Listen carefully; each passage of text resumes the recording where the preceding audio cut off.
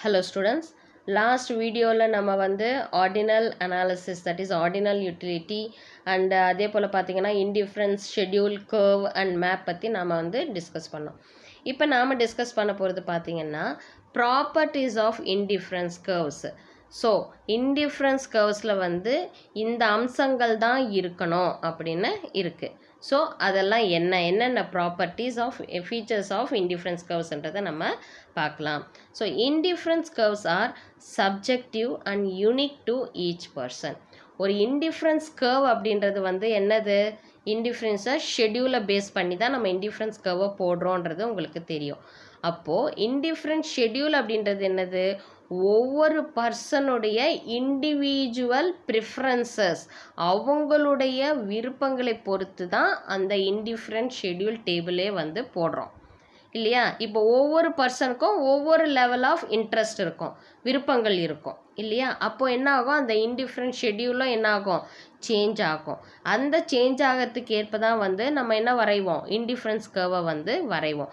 So அப்போ அந்த indifference curve அப்படின்றது வந்து ஒவ்வொரு பர்சனுக்கும் வந்து எப்படி இருக்கும்? ஒரு தனித்துவமானதாக இருக்கும். Nevertheless they have in common in the following properties என்னதான் வந்து தனித்துவமாக இருந்தாலும் அதுக்கு இந்த இன்டிஃப்ரென்ஸ் கர்வ்ஸ்க்குன்னு பார்த்தீங்கன்னா ஒரு காமனான சில ப்ராப்பர்ட்டிஸ் அம்சங்கள் வந்து இருக்குது அது என்னென்ன அப்படின்றத நம்ம பார்க்கலாம். Indifference curve must have negative slope negative slope அப்படின்னா என்னது? அந்த ஸ்லோப் எப்படி இருக்கணும்? லெஃப்ட் டு ரைட்டாக இருக்கணும். அந்த ஸ்லோப் எப்படி இருக்கணும்? லெஃப்ட் டு ரைட்டாக இருக்கணும். ஓகேவா அதாவது ஒரு வேல்யூ வந்து ஒரு ப்ரோ ஒரு ஒரு ஒரு ஒரு பொருளினுடைய சாட்டிஸ்ஃபேக்ஷன் லெவல் வந்து அதிகமாக இருந்ததுன்னா இன்னொரு பொருளினுடைய சாட்டிஸ்ஃபேக்ஷன் எப்படி இருக்கணும்? குறைவாக இருக்கணும். அப்போ தான் நமக்கு என்ன கிடைக்கும்? Negative slope that is left to right நமக்கு கிடைக்கும். இது நீங்கள் டிமாண்ட் கர்வில் கூட நீங்கள் பார்த்துருப்பீங்க. ஓகேவா so indifference curve must have negative ஸ்லோப்பாக தான் வந்து இருக்கணும். அதாவது ஒரு ஒரு ஒரு ப்ராடக்டினுடைய விருப்பம் வந்து அதிகமாக இருக்கும் இன்னொரு ப்ராடக்டின் மீதான விருப்பம் கம்மியாக இருக்கும். அப்போ தான் வந்து இன்டிஃப்ரென்ஸ் கர்வ் எப்படி வரும்? நெகட்டிவ் ஸ்லோப்பாக வரும். So and indifference curve has a negative slope which denotes that if the quantity of Y decreases the quantity of the other that is X must increase so ஒய்ன்ற commodity வந்து கம்மியாகும்போது எக்ஸுன்ற commodity ஆட்டோமேட்டிக்காக என்ன ஆகும்? Increase ஆகும். இப்போ apple வந்து நான் ரெண்டு சாப்பிட்றேன் ஆனால் ஆரஞ்சு வந்து நான் ஆறு சாப்பிடுவேன். அப்படின்னும் பொழுது என்ன ஆகுது? ஆப்பிளோட வேல்யூ கம்மியாக இருக்குது ஆரஞ்சினுடைய வேல்யூ அதிகமாக இருக்குது ஸோ இப்படி தான் வந்து மென்ஷன் பண்ணக்கூடியதாக வந்து இருக்கணும். ஓகேவா so in if the consumer is to stay on the same level of satisfaction அப்போ தான் வந்து அவருடைய லெவல் ஆஃப் சாட்டிஸ்ஃபேக்ஷன் எப்படி இருக்கும்? சேமாக இருக்கும். ஒரு பொருளையே அதிகம் எடுத்துட்டு இன்னொரு பொருளையும் அதிகம் எடுத்தால் சாட்டிஸ்ஃபேக்ஷன் லெவல் சேமாக இருக்குமா? கண்டிப்பாக எடு திகட்டிடும். இல்லையா? ஸோ அந்த மாதிரி இல்லாமல் நான் ரெண்டு ஆப்பிள் எடுத்துட்டு நான் நாலு ஆரஞ்சு எடுத்தேன்னா எனக்கு வந்து ரொம்ப சாட்டிஸ்ஃபையபிளாக இருக்கும் அப்படின்னு சொல்லுவாங்க. இல்லை நான் மூணு ஆப்பிள் எடுத்துட்டு நான் ரெண்டு ஆரஞ்சு எடுத்துக்கிறேன் அப்படின்னு சொல்லுவாங்க. ஸோ ஆனால் சாட்டிஸ்ஃபேக்ஷன் லெவல் எப்படி இருக்கணும்? சேமாக இருக்கணும். ஓகேவா இப்போது இந்த டயக்ராமில் நீங்கள் பார்த்தீங்கன்னா கமாடிட்டி எக்ஸ் ஒய் கொடுத்துருக்காங்க. ஆனால் சாட்டிஸ்ஃபேக்ஷன் லெவல் பார்த்தீங்கன்னா ஏபி அப்படின்ட்டு ஈக்குவல் சாட்டிஸ்ஃபேக்ஷன் தான் கொடுத்துருக்காங்க. ஓகேவா?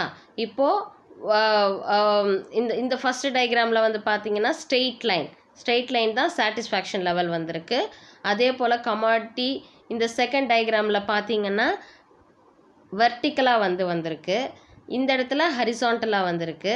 சாட்டிஸ்ஃபேக்ஷன் லெவல் இந்த இடத்துல வந்து க்ராஸாக that is right to left இப்படி வந்திருக்கு. ஆனால் இது எதுவுமே வந்து நம்ம என்னவா கன்சிடர் பண்ண முடியாது? இன்டிஃப்ரென்ஸ் கர்வாக கன்சிடர் பண்ண முடியாது. ஏன்னா எப்போவுமே ஒரு கமாடிட்டியினுடைய சாட்டிஸ்ஃபை ப்ரிஃபரன்ஸ் லெவல் வந்து ஒரு பாயிண்ட் இருக்கும் பொழுது இன்னொரு கமாடிட்டினுடைய ப்ரிஃபரன்ஸ் லெவல் பாயிண்ட் வந்து எப்படி இருக்கணும்? கம்மியாக தான் இருக்கணும். அப்போ தான் ஒரு இன்டிஃப்ரென்ஸ் கர்வ் வரும். ஆனால் இந்த இடத்துல வந்து அந்த மாதிரியான எந்த வாய்ப்புமே இல்லாத பட்சத்தில் இங்கே இன்டிஃப்ரென்ஸ் கர்வ் அப்படின்ற ஒரு விஷயத்துக்கு வாய்ப்பே கிடையாது.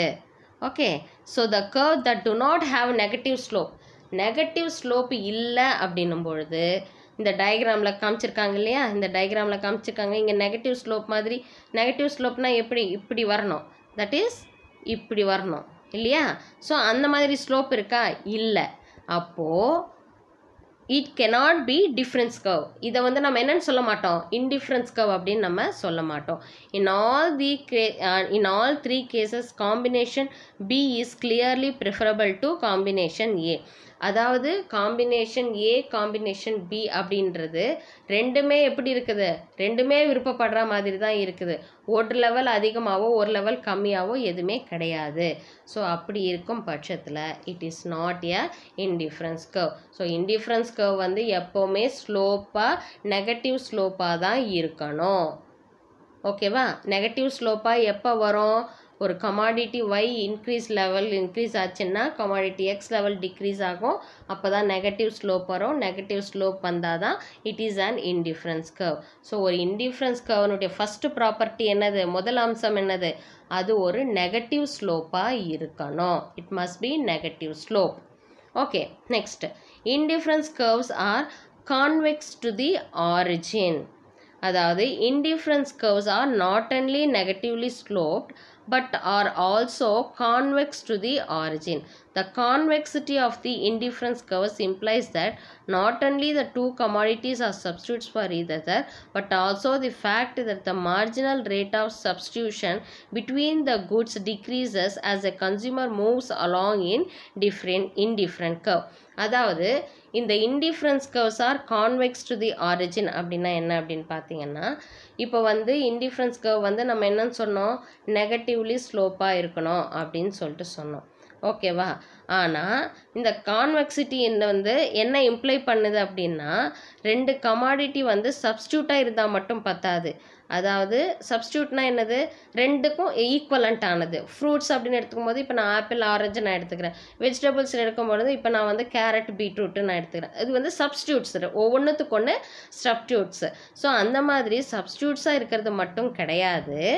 அதனுடைய மார்ஜினல் ரேட் ஆஃப் சப்ஸ்டியூஷன் வந்து பார்த்திங்கன்னா ஒரு கமா ஒரு கமாடிட்டினுடைய லெவல் வந்து இன்க்ரீஸ் ஆகணும். இன்னொரு கமாடிட்டின் லெவல் வந்து டிஃப்ரென்ஸ் டிக்ரீஸ் ஆகணும். ஓகேவா அப்போ தான் வந்து அந்த இன்டென்சிவ் கர்வ் அப்படின்றது வந்து கர்வுக்கு ஏற்ற அலாங் அந்த கர்வுக்கு ஏற்ற மாதிரியே வந்து அது வரும். So indifference curves are convex to the origin கான்வெக்ஸ்னால் என்னது?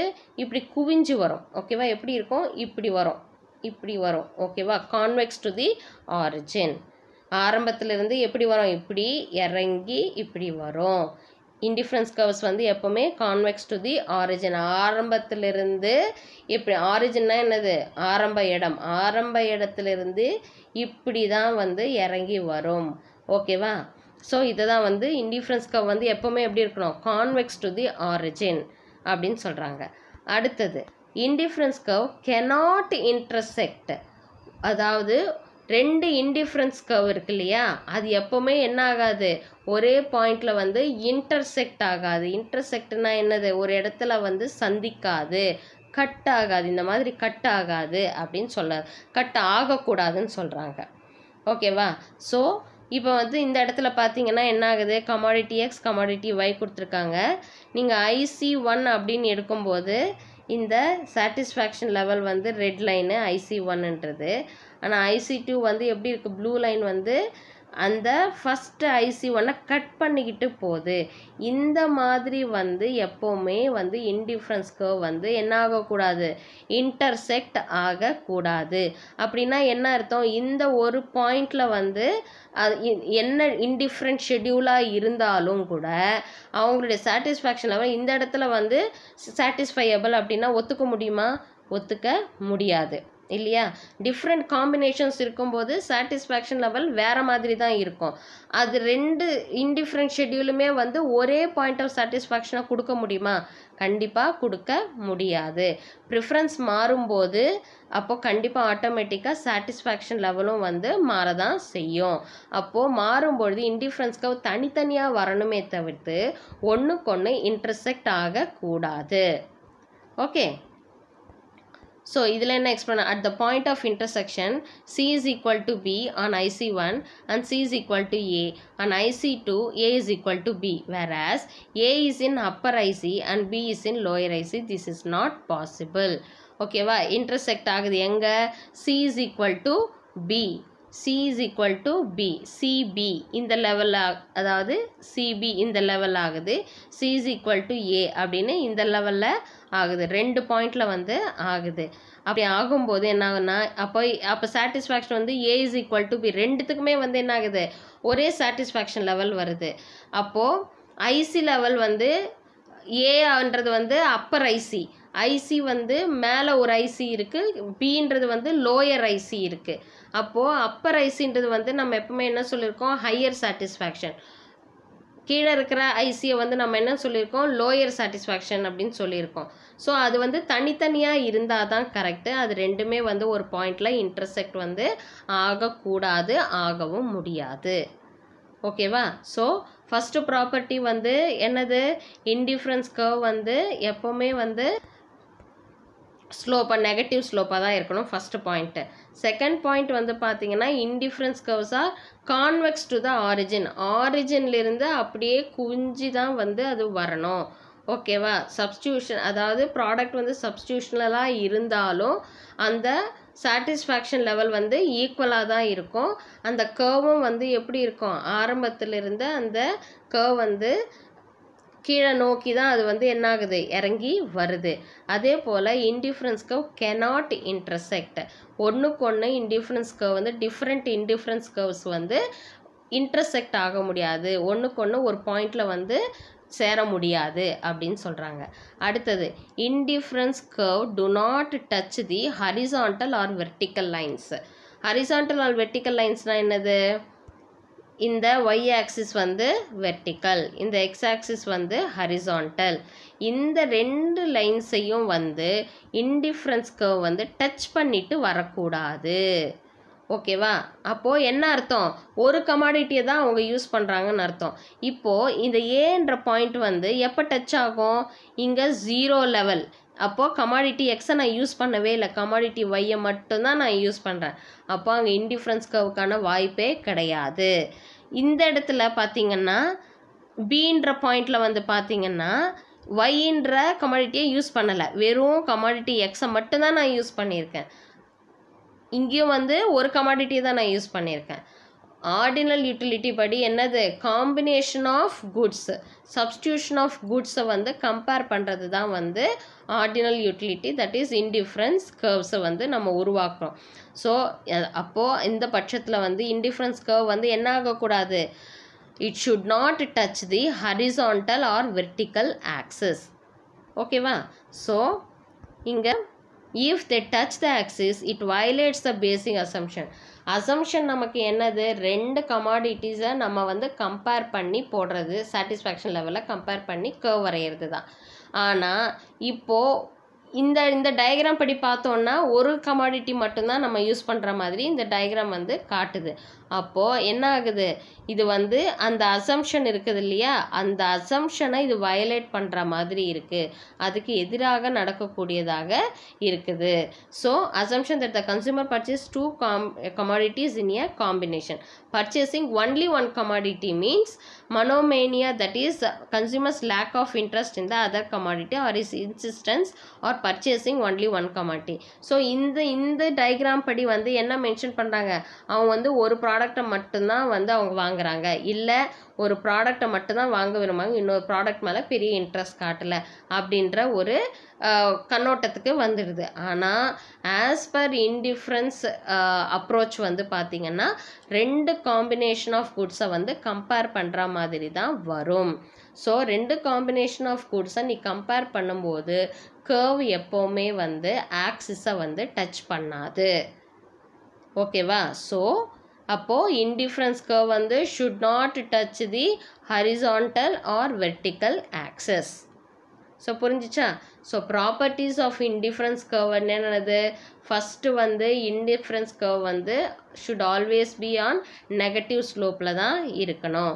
அதே போல் இன்டிஃப்ரென்ஸ் கர்வ் வந்து பார்த்திங்கன்னா இன்டிஃப்ரென்ஸ் கர்வ்ஸ் வந்து கான்வெக்ஸ் டு த ஆரிஜின் ஆரிஜின்லேருந்து ஆரம்பத்துலேருந்து அப்படியே அது வந்து கீழே இறங்கி வரா மாதிரி தான் இருக்கணும்.